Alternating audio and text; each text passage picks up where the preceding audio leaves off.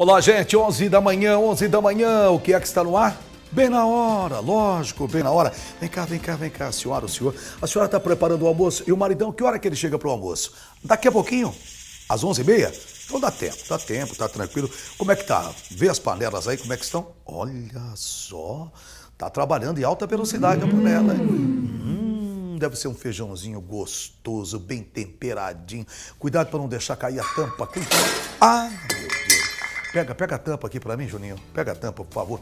Não deixa cair a tampa da panela, porque amassa tudo. Depois não, sabe, não, não dá para ficar legal. Aí você tenta é, colocar a panela de pressão outra vez, amassou a tampa é complicado. Demora para amassar porque é dura, mas amassa sim. Não é verdade?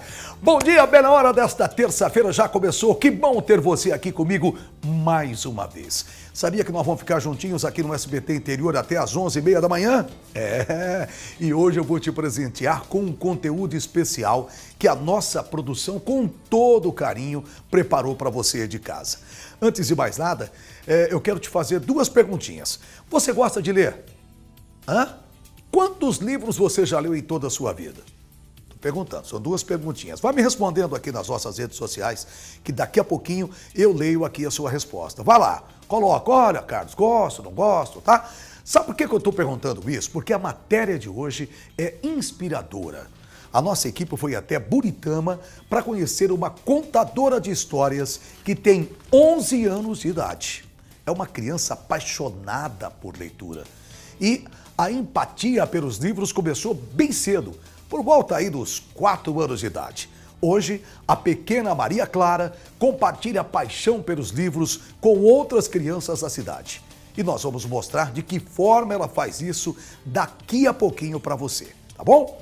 E agora aqui na câmera do Dedé, deixa eu dizer essa aqui. Olha só, Ronan, olha só esse cachorrinho. Nós vamos mostrar um vídeo para deixar a sua terça-feira bem para cima eu garanto que depois de ver essas imagens você vai refletir que é na simplicidade das coisas que nós encontramos a felicidade. As coisas mais simples, às vezes, são as mais felizes. Olha só o que um cachorrinho apronta quando vê a neve caindo pela primeira vez. Ele chama Trufle ele é chamado por trufle e fica enlouquecido quando os floquinhos de neve vão caindo. Muito legal. Corre para um lado e para outro, vai para lá, vai para cá. Veja só a reação dele.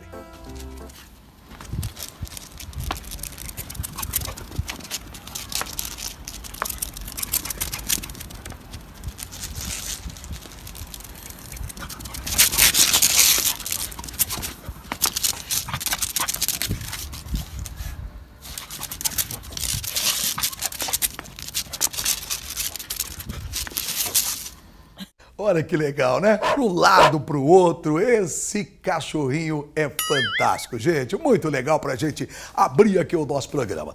Bom, todo mundo sabe que a leitura é importante. Mas na prática, com as tecnologias do dia a dia, esse hábito tem se tornado cada vez mais distantes das pessoas, infelizmente. A história de hoje é sobre a paixão pelos livros que desperta o interesse de toda uma família, principalmente de uma garotinha de 11 anos de idade. Presta atenção nessa matéria, roda. Era uma vez uma menina chamada Maria Clara, de 11 anos de idade. Desde pequena, a garotinha gostava de ouvir as histórias que os pais contavam através dos livros todas as noites antes de dormir. Ouvir os contos de diferentes gêneros até pegar no sono era a maior alegria. Com o tempo, ela aprendeu a reconhecer as letras e também passou a ler para as irmãs mais novas, Maria Fernanda, de 6 anos de idade, e Maria Cecília, de 2.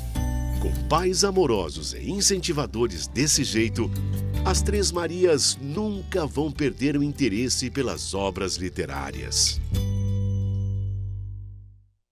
A história da Maria Clara não é ficção, não. Tudo se passa na pequena cidade de Buritama. O hábito de leitura encanta e diverte toda a família. Kathleen não quis perder tempo na hora de introduzir os livros na vida da filha. Desde a gestação, já dava um jeitinho de narrar historinhas. Eu sempre tive isso desde quando eu estava na barriga, que minha mãe conta. Então, a vida toda eu, eu, sou, eu pego os livros, eu leio, a minha mãe comigo, me motivando toda vez. Então, acho que a primeira vez foi desde quando eu estava na barriga mesmo. No caso da mãe, a paixão pelas letrinhas passam de geração em geração. Nós descobrimos né, que é importante ler enquanto o nenê está na barriga e a gente já começou, começou daí, né? Então eu comecei a ler livros, eu deitava e ficava lendo livros, como é né, para ela. Minha mãe ama ler, minha mãe é uma verdadeira leitora, né? E meu padrasto também, inclusive ele é escritor. Então, eu acho que eu cresci realmente nesse ambiente. Já José não teve tanto apoio dos pais para fortalecer a prática da leitura. Apesar disso, hoje ele reconhece a importância dos livros na formação das filhas. Eu sempre pego no pé delas para estar sempre estudando, sempre lendo, porque eu penso assim, o futuro do Brasil é as crianças, né? São elas, então eu sempre apoiei e vou apoiar sempre. Como todas as crianças, as Três Marias gostam de brincadeiras e de uma boa bagunça. No entanto, sempre tem aquele momento gostoso em família para se dedicar ao mundo da fantasia que os livros proporcionam eu realmente gosto porque a gente sai do nosso mundo, né? A gente entra em qualquer outro tipo de mundo, a gente entra em outro país, a terra do nunca que não existe, mas a gente cria toda a nossa imaginação. Cada um tem uma terra diferente, cada um tem um mundo diferente. E eu acho isso muito bom, muito bom. Maria Fernanda está na fase de alfabetização e já arrisca contar algumas histórias que conheceu o Papai Noel senta numa cadeira muito descansado, que ele descansa um pouquinho, enquanto que os aí embaixo tem um, um monte de anãozinho faz, colocando presentes para as crianças. A história verdadeira de amor pela leitura promete não ter fim. Ai, com certeza, se depender de mim, com certeza. se um livro pode mudar uma vida, imagina vários livros. Pode mudar o mundo. Uma pessoa lá pode mudar o mundo lendo vários livros. Então eu acho que o livro é uma parte da nossa vida. E assim, eles viveram felizes para sempre.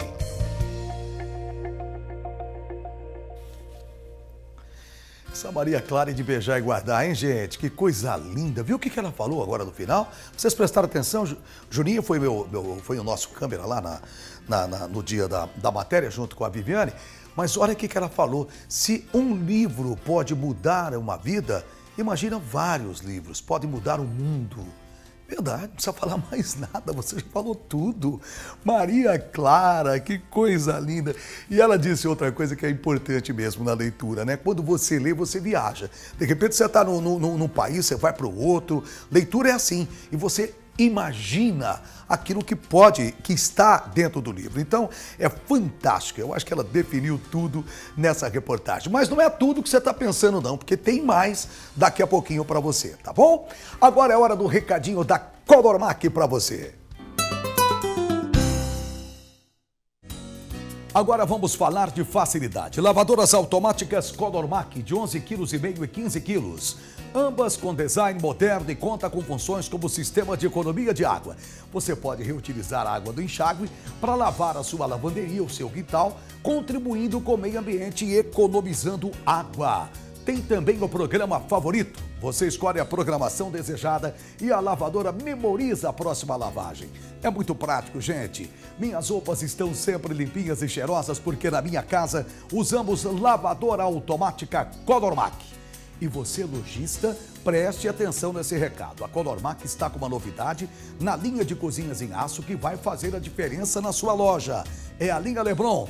Olha que cozinha linda! Beleza aliada com a qualidade Colormac. Ah, e agora com muito mais espaço interno para você que procura uma cozinha em aço com qualidade. Gavetas 100% em aço com maior aproveitamento de espaços. Corrediças telescópicas que deslizam facilmente e puxadores parafusados, gerando firmeza e resistência.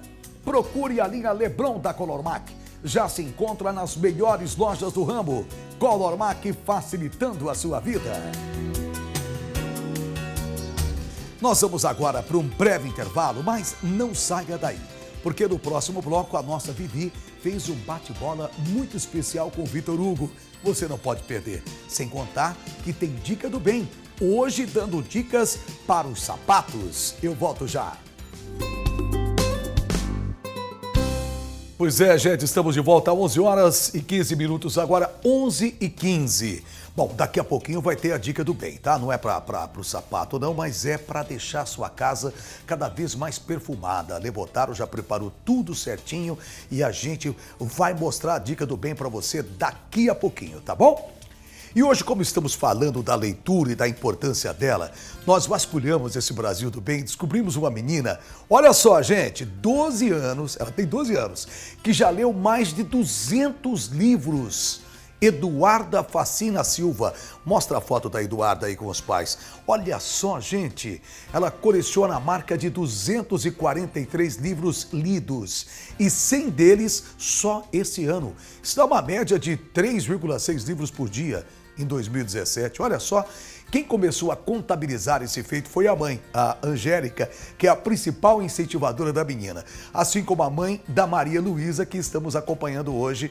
A, a Duda também tem um projeto onde ela tenta passar esta paixão para o maior número de pessoas possíveis. Em seu blog virtual, ela faz uma resenha de tudo o que ela lê. Sensacional. E você, quantos livros leu esse ano? Hein? seu preguiçoso, leu mesmo ou não? Hã? Eu confesso que estou em débito também, viu? Estou assim, mas teria que ter lido um pouco mais, né? Mas pegando esses dois exemplos, quem sabe em 2018 a gente não vai ser diferente, né? Vamos parar com essa preguiça e vamos começar a ler. Bom, e você pensa que a história da Maria Clara acabou? Você fala, ah, terminou? Não, para, nada disso. A menina continua propagando o amor pelos livros fora dos muros da casa dela. Isso é que é importante. Roda a matéria. A paixão pela leitura não tem limites. O que a Maria Clara aprendeu com os livros é compartilhado com outras crianças na biblioteca de Buritama. Aqui, ela é conhecida como a menina contadora de histórias. Muitas invejosas e más. A partir de então, a menina começou a sofrer muito. Passou a ter de vestir roupas velhas e feias a iniciativa faz parte de um projeto para estimular a leitura na cidade e tem trazido resultados positivos, já que o número de empréstimos de livros vem aumentando. Todas as, as ações desenvolvidas na biblioteca, inclusive a contação de histórias, sempre traz um resultado positivo. Né? É, estimula o gosto pela leitura, aumenta a retirada dos livros, as pessoas elas podem viajar é, sem sair do lugar. Para que pudesse passar a noite. Ele estava muito cansado, por isso aceitou a hospitalidade de imediato. Nem precisa dizer que Maria Clara adorou o convite. Hoje, ela se caracterizou de filha Noel para contar histórias do bom velhinho e tudo o que envolve o clima de Natal. O pinheiro, sem saber o que ofertar, perguntou às outras árvores: minhas amigas, o que posso dar? Ele olhou para o céu e teve uma ideia. Não fique triste, eu ajudarei você, consolou o anjo. Um jeito lúdico de incentivar os pequenos que estão entrando no processo de alfabetização. A leitura, ela faz parte da nossa vida. E a criança, através da leitura, ela descobre o mundo, ela é, interage com a vida. Então, através da leitura, da dinâmica, é, trabalhada dentro da sala de aula, ela vai conhecendo, ela vai despertando para o mundo através dos livros, dos contos. Mesmo sem saberem ler, os olhinhos curiosos das crianças são a prova que essa parte do aprendizado não será nenhum sacrifício para elas. Grazi, me fala um pouquinho da, da leitura para você. Você gosta de ler? Sim. Eu achei interessante que cada história, no final, conta uma parte feliz. O mais legal é os livros. Você acha que é legal, então, você vir à biblioteca, ouvir as historinhas? Aham, uhum. gosto. Maria Clara não quer parar de ler. A garotinha pretende ser juíza quando crescer e sabe que a leitura vai ajudar bastante. Estou pretendendo ser juíza. Ah, é? Então, é muitas ordens, muitas, muitas muita leitura. Com, certeza, muita leitura. E você vai fazer direito, então? Direito. Incentivar novos amiguinhos no universo dos livros. Essa será sempre a principal missão da menina contadora de histórias. A leitura ela traz um sentimento muito bom, muito é você você sai desse mundo e vai em outro, você viaja, você conhece outro mundo, você sabe que sereias, Papai Noel, esse tipo de mundo vai existir naquilo ali. Dizendo isso, chamam várias estrelinhas do céu que desceram todas juntas. Lá dentro do estábulo, deitado no bercinho, o menino via o pinheiro e os seus olhinhos brilhavam de alegria. Obrigada, gente!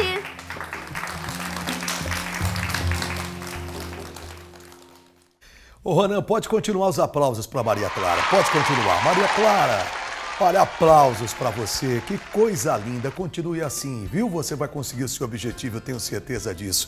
As crianças que apareceram ali, eu adoro ver, ouvir, né? Ver e ouvir a, as opiniões. É muito legal. Da Grazi, da Graziele, da Fernanda e do Pedro, né? Ela falou: ah, as histórias são bonitinhas porque sempre lá no final tem um finalzinho feliz. Legal, né? A vida tinha que ser assim. Sempre a gente ter um final feliz, não é verdade? Ah, muito 10, gente. Parabéns aí pela matéria, Viviane. Valeu, Juninho. Muito boa matéria. Gente, a data mais esperada do ano está chegando, o Natal. E aqui no Bufato está cheio de coisa boa para essa data ser inesquecível. Tem descontos e condições de parcelamento imbatíveis para presentear a família toda e montar aquela ceia especial. Tem aves natalinas, espumantes, vinhos, cervejas especiais, panetones, cestas de Natal em até seis vezes sem juros no cartão Super Bufato. Tem Eletro em até 15 vezes sem juros e toda a loja em até 3 vezes sem juros no cartão Super Bufato. O Bazar em até 10 vezes sem juros em todos os cartões. Gostou? Tem muito mais. Confere aí as ofertas.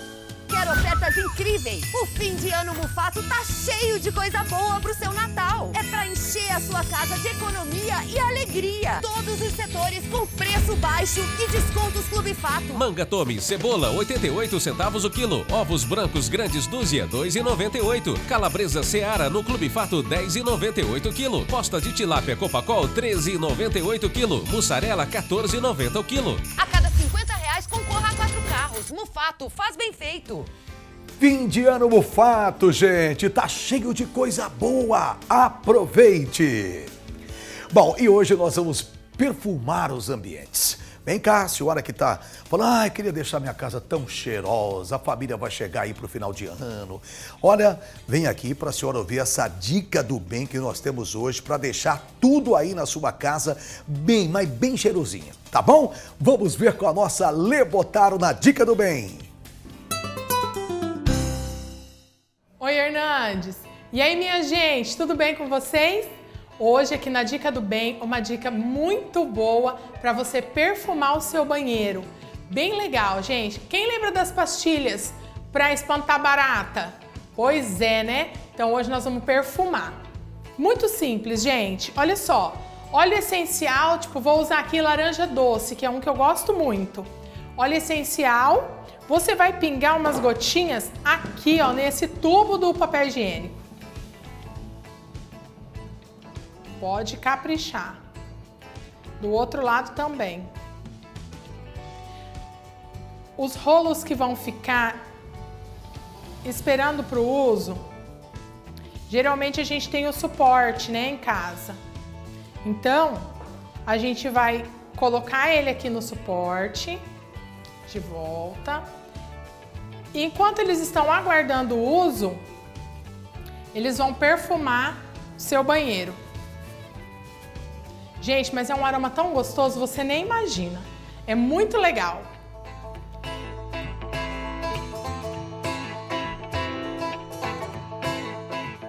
A segunda dica de hoje é, eu não lembro se eu já expliquei aqui na dica do bem, que o óleo essencial, ele é diferente de essência. Essência é sintética, produzida em laboratório. Óleo essencial é a essência da planta. Então, é diferente. E o óleo essencial, ele tem funções terapêuticas. Então eu quero deixar uma dica poderosa e valiosa de aromaterapia para todo mundo que está assistindo a Dica do Bem hoje. Olha só, hein, Hernandes, a coisa tá ficando chique.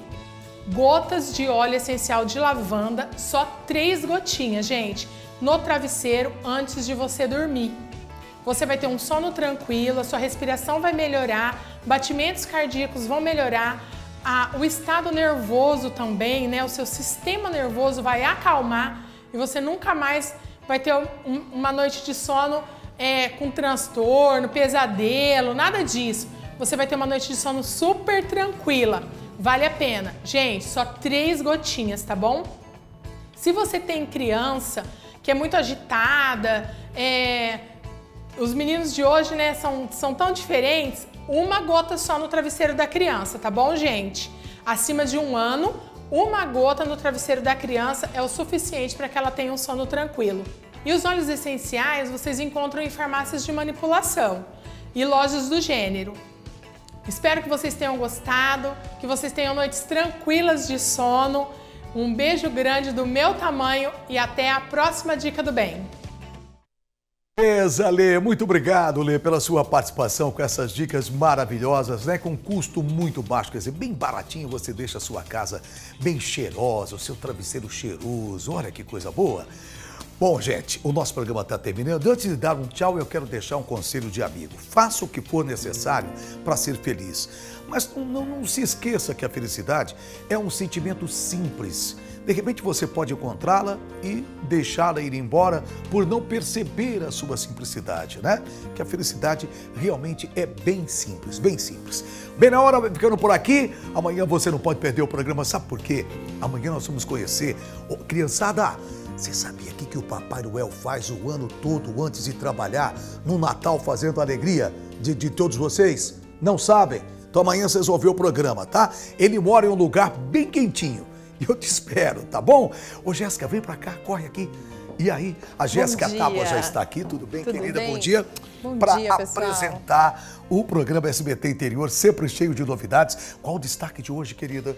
Então, infelizmente, a gente vem com uma notícia muito é, ruim aqui para nossa região. Ontem, no nosso jornal, a gente divulgou, né, a gente noticiou mais um caso de violência contra a mulher. Nossa. E hoje, uma mesma história, infelizmente. Uma dona de casa que mora na zona rural de Araçatuba foi espancada pelo próprio companheiro com tijoladas. É um absurdo, Hernandes. o repórter Márcio Adalto vai entrar ao vivo, falar ao vivo com a gente para explicar certinho como é que foi esse caso. Que coisa triste, né? Muito São triste. notícias que a gente não gosta realmente nem de ouvir, nem de ouvir. Não. Muito obrigado, viu, imagina, querida? Imagina. E bom programa para você. Até amanhã. Bom, vamos juntos então, vamos, vamos sair lá, juntos? Vamos embora. Tchau, tchau, tchau. Tchau, tchau. Bom dia, bom dia. Vamos embora. Você vai começar o seu programa agora. Vamos lá.